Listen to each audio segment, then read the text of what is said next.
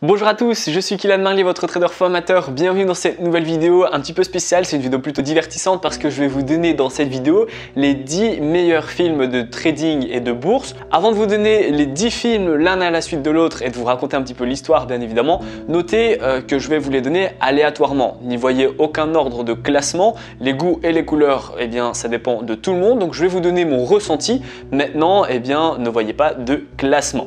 On va commencer tout de suite par le premier film. Le premier film que j'ai à vous présenter s'appelle Crack, il est sorti le 1er septembre en 2010.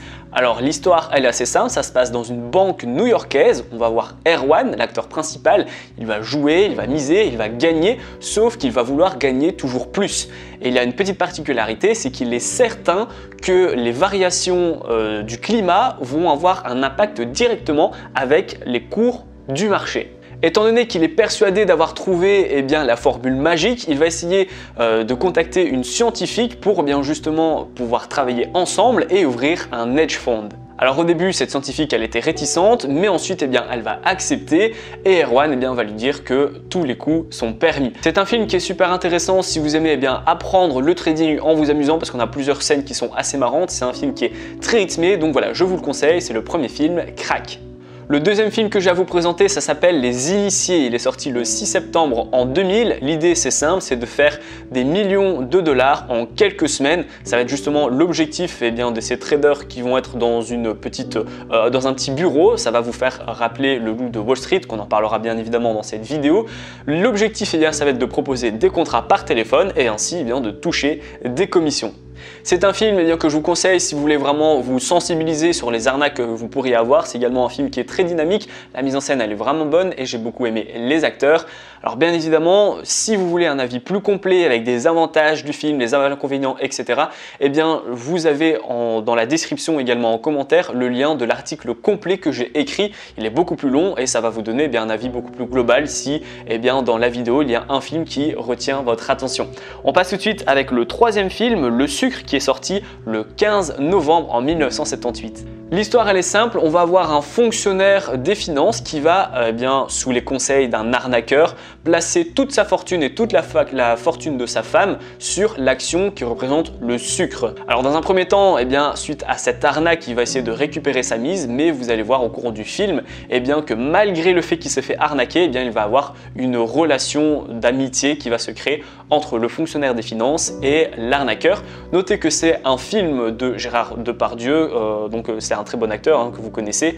Donc je vous le conseille vraiment, c'est euh, également un film qui m'a fait rire dans, quelques scènes. Si vous voulez également vous faire sensibiliser avec les arnaques par téléphone et même les conseils de faux experts entre guillemets, eh bien ça va être un très bon film, je vous le conseille. Donc ça s'appelle Le Sucre.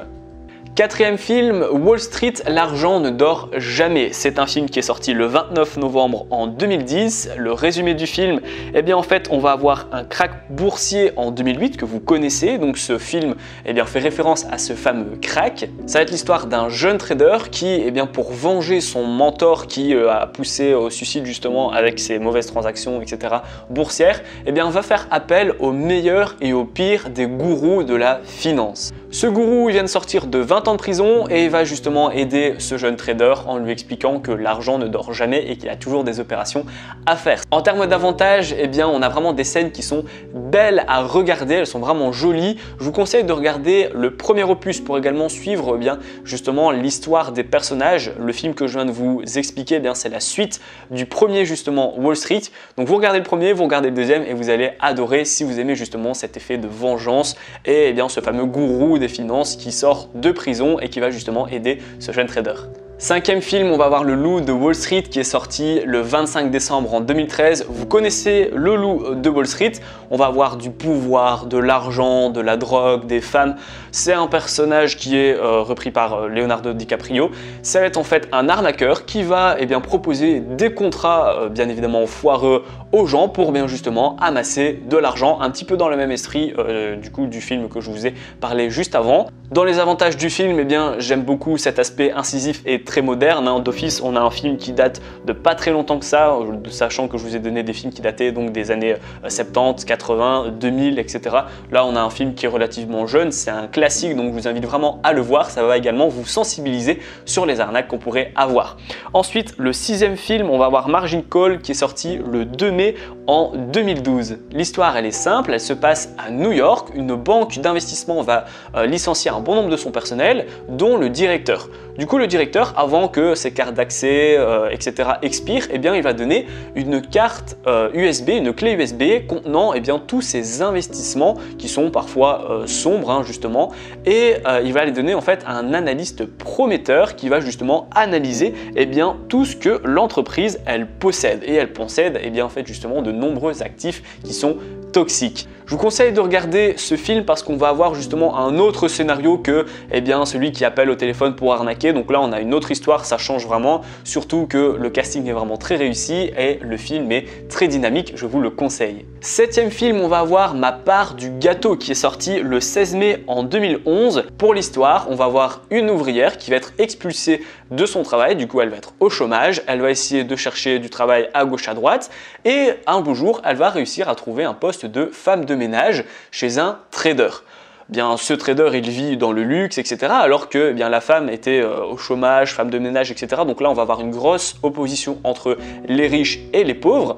Et en fait, eh bien, la femme de ménage et le trader, ils vont sympathiser entre eux, etc. Tout va très bien se passer, ils vont se rapprocher. Sauf que le problème, c'est que la femme de ménage va se rendre compte eh bien, que le trader est en partie responsable de la faillite de l'ancienne entreprise, justement, qui a mis dehors l'ouvrière. C'est un film que je vous recommande parce que là, là aussi, on va avoir un scénario qui va changer euh, des scénarios de trading et de bourse. On va voir des scènes qui sont euh, tristes parfois, mais très marrantes également. Et puis, euh, surtout, on va voir la grosse entre euh, les riches et les pauvres. Je vous conseille de regarder ce film, c'est super intéressant, ça s'appelle Ma part du gâteau. Le huitième film, on va voir Inside Job qui est sorti le 17 novembre en 2010. Ce huitième film, c'est pas vraiment un film, mais plutôt un documentaire qui va parler de la crise et il est vraiment super bien fait. Il va parler ben, justement des relations euh, des pays, de comment fonctionne bien justement l'industrie, etc.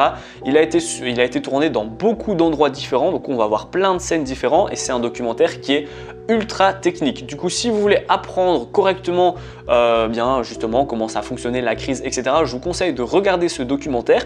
Il y a parfois des termes qui sont techniques, même c'est peut-être parfois l'inconvénient parce que euh, faut pas vraiment regarder ce documentaire euh, avec des gens qui parlent, etc. Faut vraiment le regarder tout seul ou bien à plusieurs, mais vraiment dans un endroit calme et il faut rester concentré parce qu'il y a beaucoup de termes qui vous sont donnés et beaucoup et eh bien justement de compétences et de valeurs qui vous sont données à propos de la crise. Donc c'est vraiment un très bon documentaire, vous allez apprendre beaucoup de choses, je vous le recommande également. En neuvième film, on va voir Arbitrage qui est sorti le 12 décembre en 2012. Le film se passe à New York, on va avoir une personne qui fait partie des meilleurs dans justement le domaine de la finance.